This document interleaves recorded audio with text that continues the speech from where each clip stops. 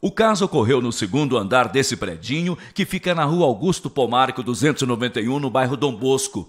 Segundo a polícia, o marido Paulo Henrique da Silva, de 28 anos, esfaqueou e colocou fogo no corpo da mulher Alana Silvia Santos, de 25 anos. Chegou a denúncia via 190 de que havia uma briga de casal no local lá, no bairro Dom Bosco. A PM compareceu ao local e ao chegar à residência do casal, nos foi franqueado o acesso por uma vizinha que já havia entrado na residência prestado socorro, de que havia uma vítima lá no local. Ao entrarmos na, no, na residência, deparamos com a vítima já sem vida, é, deitada de bruços e em chamas, sendo a, as chamas aí controladas através da ação da própria Polícia Militar. Hoje os vizinhos não falavam de outra coisa. A filha do casal, de um ano e meio, inalou muita fumaça e foi socorrida por duas moradoras. Pelo meu nome, ela gritou: socorro, socorro. Aí eu saí, ela estava naquela beira. Aí eu peguei e saí aqui, parecia, eu, eu acho, parecia que ele estava com ela ali, ó. Aí ele pegou e levou ela para dentro. Levou ela para dentro lá e pediu socorro para mim, socorrer a filha dele. Falou, a Lana desmaiou aqui, socorro, dona Nadir, sobe aqui e tira a menina daqui. Aí eu virei correndo para a escadaria arriba, a hora que eu chego em cima, ela estava caída no chão da cozinha de bruxa e o fogo já estava pegando nela. E a menininha estava no berço. Pelejei para entrar num quarto, estava trancado. Aí eu olhei para o outro quarto, a, a menininha estava dormindo. Aí eu peguei ela, tem um ano e pouquinho. Aí eu peguei ela correndo e saí para fora por causa da fumaça. E a, e a, e a Lana estava em chama lá na cozinha. É uma coisa difícil você ver o ser humano queimando, né? E você não poder fazer nada, né? Porque na, na eu não podia fazer nada, porque eu, pelo que eu olhei, ela já estava morta no chão. Tava debaixo dela, assim, ó. Ela deitada, tava debaixo dela a faquinha. Faquinha de serra de pão.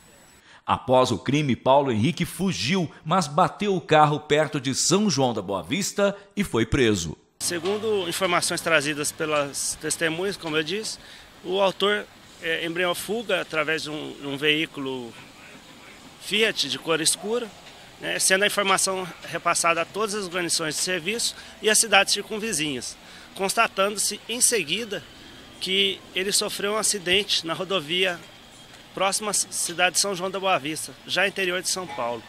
Sendo constatada aí a, a autoria do crime, ele foi preso naquela cidade e conduzido à, presença da autoridade policial. A ação da, da vizinha que socorreu, foi a primeira a chegar ao local e socorreu a filha do casal, uma menina de um ano e dois meses, uma vez que havia gás, gás de cozinha no local, espalhado pelo local.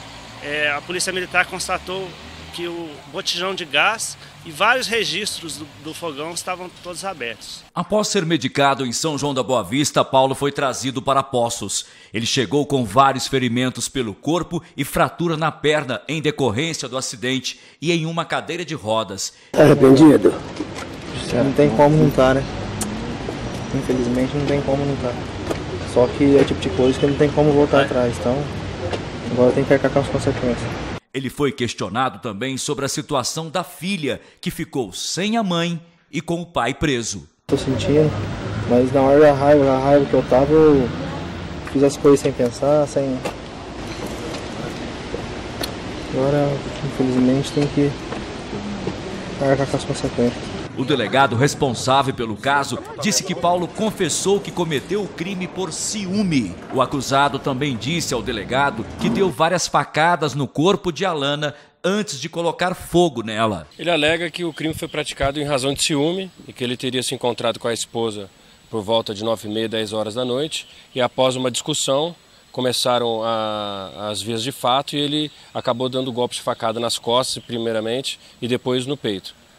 É, em continuidade, ele ateou fogo na vítima. O que nós já identificamos e também em contato com a perícia é que foi utilizado mais de uma faca no crime. É, é, é provável que uma das facas tenha quebrado e, e, tenha ficado cravada no peito da vítima e as outras facas que estavam danificadas ele tenha utilizado para é, golpeá-la. Durante a entrevista é, informal que nós tivemos, desde a da delegacia de São João da Boa Vista até a cidade de Poços, ele alega que a intenção não era matar a criança, mas ele tinha conhecimento que ela estava na casa e tinha conhecimento do, do, do, do fogo que ele tinha acabado de atear na, no corpo da esposa.